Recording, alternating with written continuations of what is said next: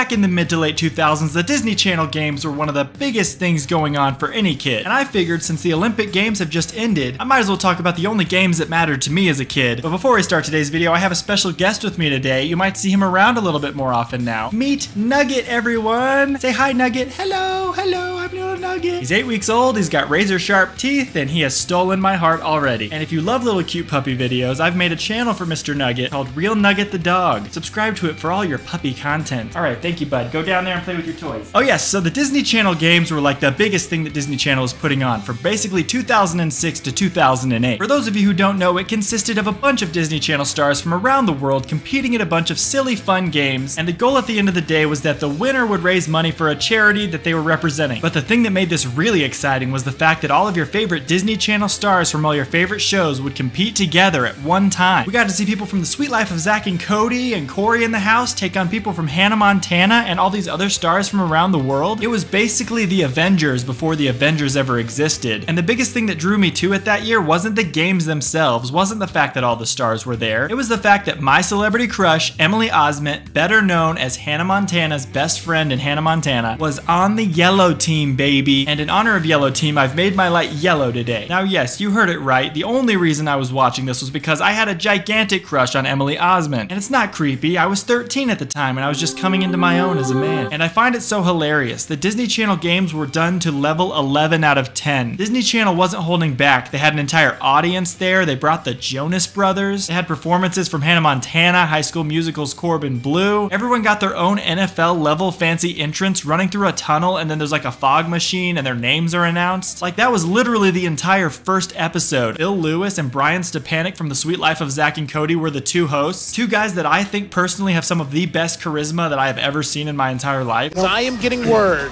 that these stars are getting ready to take the field for our team introductions. Wait a minute, you're getting word? Yes. How are you getting word? Telepathy. You have You know I have telepathy. really. I swear. Really? Let's try. Come on. Okay. Try it. Go ahead. What, what, try, what, what, What do you think? Yeah, okay. Go. How amazing it is that we both have telepathy. Crazy. Now all you need to do is have a bunch of dumb games and have all the people play them. Oh wait, the Disney Channel games have you covered. Wait till you see this lineup. We've got dunk tank.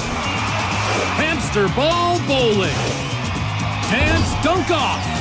Extreme rock, paper, scissors. Super soccer ball. Simon Says, hosted by yours truly, and much, much more. So the first challenge is a fun wacky challenge. It's basically rock, paper, scissors, but if there's a tiebreaker, you then end up beating each other with each other's battering rams. I remember every time I tried this game, I fell off the platform immediately. It wasn't a matter of even being able to swing the battering ram. I would lose my balance before we even got to that point. Paper. Scissors showdown. And really all that ended up happening in this challenge is that whoever leaned forward ended up losing or pushing their opponent off, and every single battle ended up being pretty anticlimactic. We got an epic battle between Dylan and Cole Sprouse. Sprouse versus Sprouse. Yes. Twin related. Twin versus twin. Oh, he's calling him out. Look at this. Yep. Oh, yeah. It doesn't get any better than this. And blue has one. Okay. Scissors, reveal. Oh, oh, it's a joust. If green wins this, they win the match. Up, they start It's off on. a little slow, but they're going at each other. Look at that. Oh, oh, oh, oh. Cole's helmet oh. is coming off, Oh. but he's staying on the mat. And there you have it. Oh, green takes it. Green takes it in the extreme rock, paper, scissors. And then we got a Hannah Montana battle between Miley Cyrus and Emily Osment that ended up being epic. And roll. It's Emily Osment versus Miley Cyrus. I understand. Oh, oh, It's a joust. She's got one hand on the joust What, what she's is trying going to push on? with the Oh, other one. oh, oh. And she prevails. These young ladies' faces. Reveal. Look at that. It's another joust. Here we go. You see how Miley holds the jousting? She Miley's jumps up not- and she tries to grab on.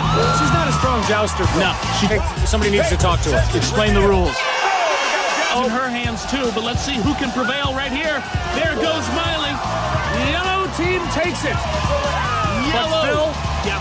her hair looks fat. It does look amazing. That's right, Emily won, and at the end of the day, Yellow Team ended up winning this first challenge, putting them in the lead overall. But here's where I have a major complaint with this show. Every single week they had a fan vote online, and I was not able to go in there and vote because I was currently at my granddad's ranch at this time, where Disney Channel Games was the only time I was able to relax and enjoy myself because most of the time I was just working on the ranch with the cattle. And whichever team got the most fan votes got 50 extra points added to their total. As you could see, this was probably a really bad idea because every single week the green team won the points. And this is going to play a big factor later on. The second challenge was an obstacle course through a bouncy castle. I know, they're doing some really crazy stuff here. Giant inflatable obstacle course. Wow, that's what I call double trouble, Phil. Ooh, it's kind of like us, you know, double trouble. Am I in trouble?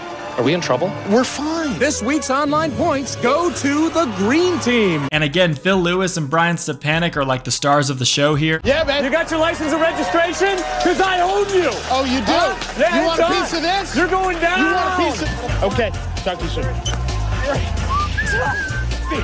He's not even. Oh, I'm killing him. I'm killing him. Maybe just one, okay? That guy looks just like Phil. Amazing. Corbin takes Who's it gonna be? Who's it gonna Who's be? coming down first? It's shin by a shin. She's climbing up the wall now. Does she have enough strength to make it over? It looks like she does. And she's sliding down.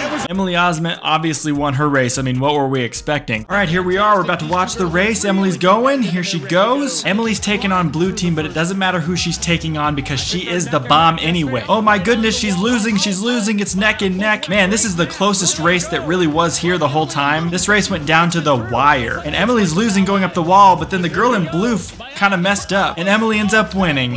Heck yes. Let's go, yellow team. Did it? You were. You came out on top. How'd you feel? close. How'd you feel? I can't speak. I'm so tired. It's all good, Emily. You're the star of the show. You speak when you want to speak. Woo! Yellow team for the win, baby. The next challenge we had was Dunk Tank, which for me is really easy. I've always been really good at aiming a ball when I throw it. I did play T-ball when I was in fourth grade, so I'd like to say that I have pretty good aim. And that challenge had its fun moments. Uh-oh, you're what happened? Whoa. Hey, you might, you might hit the, the other side of Orlando. Oh, please, please hit it. No, come on. Oh, wait, he went in. Oh, bam! How do you like that, Phil? He missed and you went in. That's so unfair. It's rigged. Oh, oh, Lucas, don't fail me now. Lucas, please. And bam! You were extremely confident that you were going to hit Phil in. Uh, any, any story behind that? Well, um, I did play baseball for six years, and uh, I just got off of the set of High School Musical 2 where I did hone my ba- uh, my baseball skills. And then the challenge right after was egg toss, and that one was probably the most entertaining of all these challenges because literally so many people went so far. Feeling A little slow mo replay here. Ooh, look at that. See, Emily. Okay, Brian. Oh, Brian. It's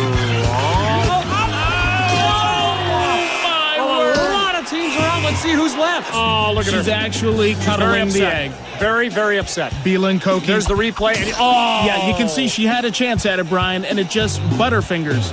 And Dylan Oh, look how modest that Dylan Sprouse is. But yellow team ended up winning that round anyway. But hold the phone, I'm getting word that green team won the fan vote again, so they're gonna get 50 points added to their total. That's right, green team, go ahead and take your free pass, even though yellow team should really be in the lead. We got blessed with a dance dunk off where one member of the team would have to dance and the other member of the team would have to then dunk. Corey Massey tried to dunk three times and missed the first two, I believe. So I want you guys to pay close attention here. This cheetah girl is absolutely nailing her routine for the dance part, so now all that Corey has to do is come in here after she's done all the hard work and do an amazing dunk. So let's see how he does here. All right, he's lining it up. He's gonna dribble in between the legs, little style points. Here he comes, and oh, he misses. That's awkward. Try again, try again. You got this.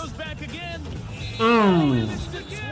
Okay, that's that's awkward. But again, I say yellow team should have been in the lead, but every single week, green team kept coming in with another 50 points from the fan vote. Yes, I totally agree with you. So finally, we get through all the challenges. It's a close race between green team and yellow team. But wait a minute, I'm finding out that this week again, completing a complete sweep of every single fan vote throughout every week, green team gets more points for a total of at least 200 bonus points they've gotten this whole time. Put green team on top because the fans clearly are voting for Miley Cyrus. And who is our winner? Of the Disney Channel games is the Green Team.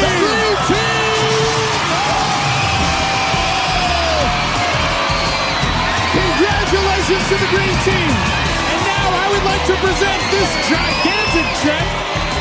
Thank you, Steve. Here you go, people. Oh yeah, it's Green Team. Green Team's the winner. The real winner, if you take away the fan vote, would have been Yellow Team, who were very deserving of the win because they won almost every single challenge. And I remember that that result crushed me as a little kid. I was so pissed that everybody was voting for Green Team, and I didn't even get to vote once for Yellow Team. And then they revealed at the end because it's Disney that everyone's a winner and everyone's charity is getting $25,000, and that's awesome. But we all know the real winner is Yellow. Yellow Team got robbed, baby. But all in all, the Disney Channel games were a great idea. And I think for kids like me at the time, they were really, really fun. So what did you think about the Disney Channel games? Did you like them? Let me know in the comments below. Also be sure to subscribe so you never miss any of my videos. The algorithm has a pretty general idea of what you want to watch, so right here is a video on your screen that you might want to watch. You don't have to, I'm not pressuring you, but if you want to, go ahead and click on it. Representing Yellow Team, my name is Ryan Askew, reminding you to stay askew because being normal is weird and being weird is kinda cool. Till next time, all I have to say is bye bye.